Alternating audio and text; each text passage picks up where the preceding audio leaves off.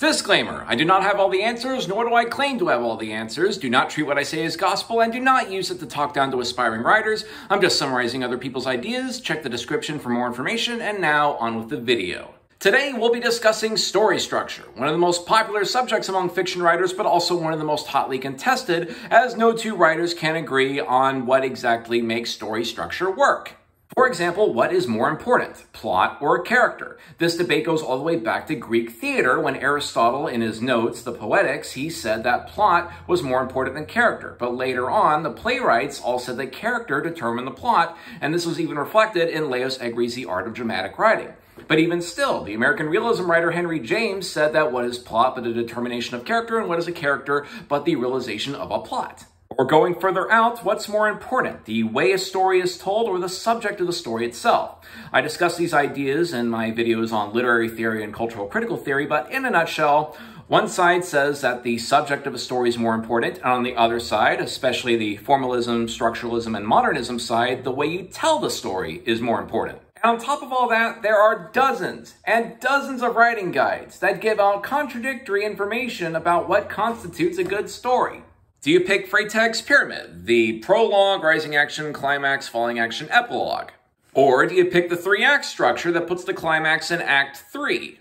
Yet still, other models of three-act structure divide Act 2 into Act 2A and Act 2B. So I guess those who use three-act structure have to ask themselves, to be or not to be? Or do you use the hero's journey? You start a hero in an ordinary world, they go to the special world to collect some sort of boon or elixir, they have a death and rebirth, then they return to the ordinary world transformed. Or you can further divide the special world into the descent into the special world and the death and rebirth, or do what Channel 101's Dan Harmon did and divide it even further into eight steps in what he calls the story circle. Who are you? What is your need? You go into the special world, you look in the special world to see what works, you find what you were looking for, you pay the price of going to the special world, you return and recover, and finally you change. Or going even further out, we got the Stein and Glenn model of narrative, which John Truby simplifies in The Anatomy of Story. And instead of an act structure, we get what do the characters want, their goal, who's to get in the way, their opponents, and what is their plan to get it, the plan, usually based on a weakness, need, or ghost from their backstory. Instead of an act two, we get the battle. The plans clash with each other, creating the narrative drive. Eventually, we get a new equilibrium, and if the character has an arc, they usually have a self-revelation. Or you have the value shift model, most popular from Robert McKee's story, but also championed by Kurt Vonnegut, Christopher Booker in his book The Seven Basic Plots, and Hayden White in his concept of emplotment. According to them, a good story just shifts from bad to good or good to bad. In Kurt Vonnegut's example of the man in a hole plot, guy's going along his day, suddenly ends up in a hole, gets out of the hole. People love that story. Or every episode of Ed, Ed, and Eddy. The Eds are down on their luck, they find a scam that works, suddenly it doesn't work. People love that episode. And yet, despite all this talk of story structure, there are still dozens of books out there that say you don't even necessarily need structure. All you need is inspiration and the story will follow. And people use these and still manage to write good material. So the question is, how do we even write a good story with so much contradictory advice? I say, let's pause for a moment and ask a very important question. What even is a story? I know that sounds like a dumb question, but you really have to ask yourself, what is a story? What do all these guides have in common? To figure that out, let's ask the science of narrative, narratology. Yes, there's an actual field of study that asks, what even is a story? In her paper, Towards a Definition of Narrative, narratologist Marie Laure Ryan outlines eight principles across four dimensions of what defines a narrative. You have the spatial dimension. It is a story world inhabited by characters.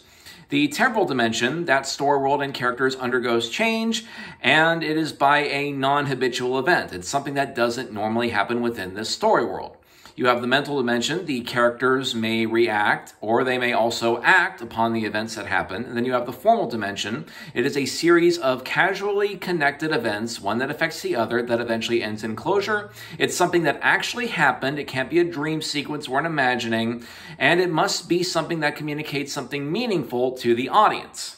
In a similar vein, we have the cognitive narratologist David Herman and his four basic elements of story. Situatedness, how is the story being told, to what audience, in what way, on what medium. The event sequencing, in what order are the events told, which will affect our perception of the story as an audience.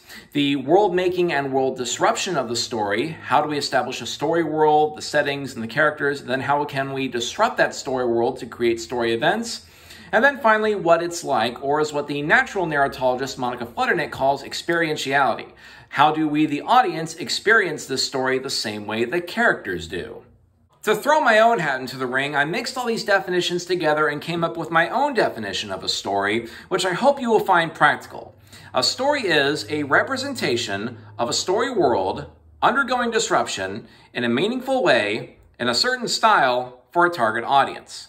Let's break that down a representation on what medium do you tell it of a story world, what is the setting and characters, undergoing disruption, something out of the ordinary happens, even in slice of life there are disruptions. In a meaningful way, there's a theme and or experientiality, we get to feel what the characters feel. In a certain style that includes tone and storytelling techniques, for a target audience, who are you telling the story for? With those definitions in mind, let's look at how all the moving parts work together. And for that, we turn to narratologist Seymour Chatman. In his book, Story and Discourse, he says that all narrative texts are made of a story and a discourse, what the Russian formalists previously called the fabula and the syužet. The story is what is it about, and the discourse is how do you structure it. Now, when I say structure, I don't necessarily mean like acts and scenes. I mean stuff like, do we have flashbacks, flash forwards? Do we have first person, third person, that kind of thing. So if we're going to look at how do we structure the events, let's look deeper into what the story is made out of. The story itself is made of events and existence, also known as the story world. This includes the settings and the characters. Now, you can build a vast setting with a bunch of characters, but that still won't give you a plot. To build a plot, we need events, so let's take a closer look at that. The two basic event types are actions and happenings. Actions, what other narratologists call kernels or nuclei, are events that disrupt the story world in long lasting and impactful ways. Happenings, also known as satellites and catalyzers, do not disrupt the story world, but instead dramatize the changes that happen because of the actions. For future reference, I prefer the term kernels and satellites, so I'll refer to major change scenes as kernels and scenes that illustrate the changes as satellites. To see this in action, let's look at this example story. We got three satellite scenes that show the world as is, then we get one positive kernel scene where things change for the better. And now we got three satellite scenes showing the changes in action. But then, boom, we get a negative kernel scene. Now we have four satellite scenes showing the negative changes, and then a positive change, and so on and so forth. But things can still go wrong if you repeat too many of the same event types in a row. For example, what makes a Mary Sue or Marty Stu story bad? It's not the character, it's because their stories all look like this. They start out in the ordinary world, they go to where the story takes place, and then they meet a new character, they meet a new character, they solve a new problem, they meet a new character, they meet a new character, repeat, repeat, repeat. You also have the opposite problem of too many kernel scenes in a row. It'll exhaust you, the writer, coming up with so many changes to your story world, and it'll exhaust the audience trying to keep up with these changes. So, you need to mix up the changes with dramatizing the changes. But probably the most common issue when it comes to satellites and kernels is when the kernels don't reflect the satellites or the satellites don't reflect the kernels. For example, here we do have negative kernels and positive kernels, but then we have a bunch of satellite scenes that have nothing to do with them. When people say the story is full of filler or padding, this is what they're talking about. Traditionally, the way you would fix this is by getting rid of all these satellite scenes and immediately cutting to the interesting parts, but there's another way to do this. Instead of cutting the scenes, you can repurpose them so they reflect the kernels. This way, you don't have to cut anything, you can have a more dynamic story, and you get a little extra world building and character development. And before I run out of time, let's look at the structure of an event itself. This is William Labov's diamond, a good way of looking at the structure of events, but also a good way of looking at stories as a whole. We begin with the abstract, under what context is the story being told, such as the genre, the medium, the audience, and so on. Then we get the orientation, we establish the story world, where we find out who are the characters, where is it taking place, when is it taking place, under what circumstances. Then we get the complication, we get the disruption to the story world, the evaluation situation is how the characters act or react, and they can do multiple things, which is why we have that little arrow there. Eventually, we get a resolution, how did things turn out? We get a coda, what was the point of that scene, and the cycle repeats. Unfortunately, we're out of time, so let's wrap things up. What do all of the different story structures have in common? They're all basically patterns of scenes that change a story world and then scenes that dramatize that change. They're alternating patterns of kernels and satellites, of nuclei and catalyzers, of actions and happenings. The constant cycle of orientation, complication, evaluation, and resolution. If we can look at these patterns, then we can put all of these into practice. We can apply it to three-act structure. We can apply it to the hero's journey.